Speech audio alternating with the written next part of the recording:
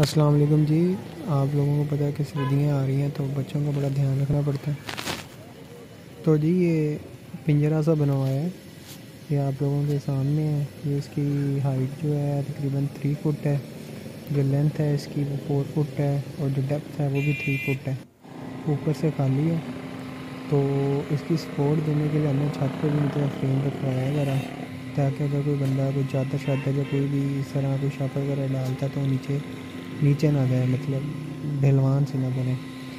तो यहाँ से इसको फिर हम फार्म पे लेकर आए तो ये इसकी जगह रखी थी छप्पर के नीचे।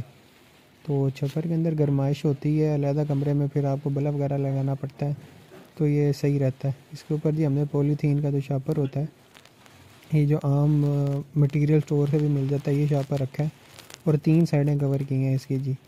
फ्रंट हमने तो खुली रहने दी है।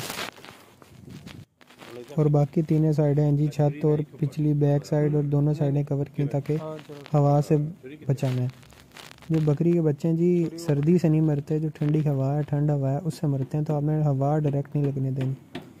तो कीलों की मदद से जी, की मदद से जी ये सारा हमने अच्छी तरह फिक्स कर दिया।